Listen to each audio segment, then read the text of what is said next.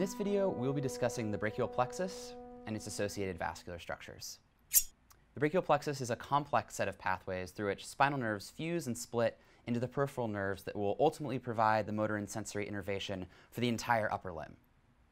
To orient you to what you're seeing here, this is a right upper limb and you're seeing the anterior face. So the shoulder is here, superiorly or proximal.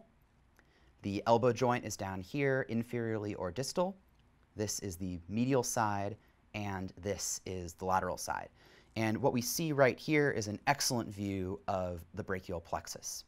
Now remember that the brachial plexus is organized at various levels from proximal to distal. We can't see the roots of the brachial plexus in this prosection, which consist of the spinal nerves C5 to T1, but we can see, starting here, the trunks of the brachial plexus. So this is the superior trunk, or the upper trunk, this is the middle trunk, and this is the inferior trunk, or the lower trunk. The trunks are each going to split into either an anterior or a posterior division. And all of the posterior divisions, which you can see here, here, and here, are going to fuse together to become the posterior cord of the brachial plexus here.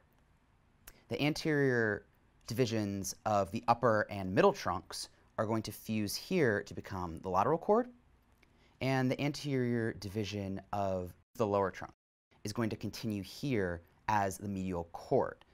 Remember that the cords of the brachial plexus are named for their orientation to the axillary artery, which you can see very nicely running here, right in the middle of the brachial plexus. You'll see that the lateral cord is lateral to the axillary artery, the medial cord is medial to the axillary artery, and if we had this in anatomical position, the axillary artery would actually be over the posterior cord here, so the posterior cord would in fact be posterior to the axillary artery. I find that it's really useful when orienting myself to the branches of both the lateral and the medial cords to think of the branches as forming sort of an M here, a sideways M, but an M nonetheless. The lateral leg of the M here, which receives fibers only from the lateral cord, is the musculocutaneous nerve, which is going to innervate a variety of muscles in the arm. The middle leg of the M here is the median nerve, and the median nerve, as you can see, is receiving fibers both from the lateral and the medial cords. And then finally, we have the ulnar nerve here, which receives fibers only from the medial cord. Now, the median and the ulnar nerves are going to go down the arm without any branches uh, because they serve their functions only in the forearm and the hand.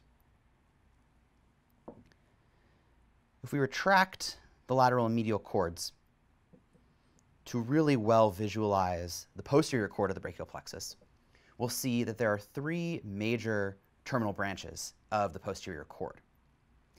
The first of which that we see is the axillary nerve here, and if I try to get a good view of where the axillary nerve is going, we can see that it's branching deep into the, into the axilla and into the posterior component of the shoulder joint.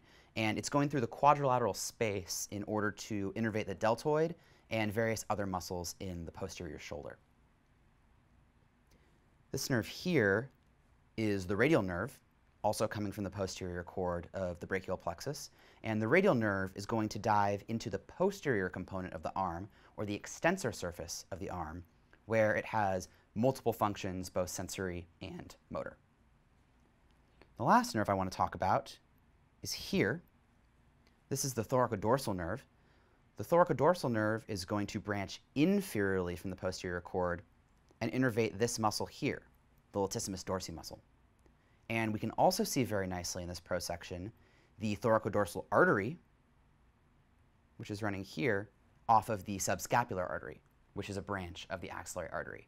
And the thoracodorsal artery is going to provide the vascular supply for the latissimus dorsi muscle.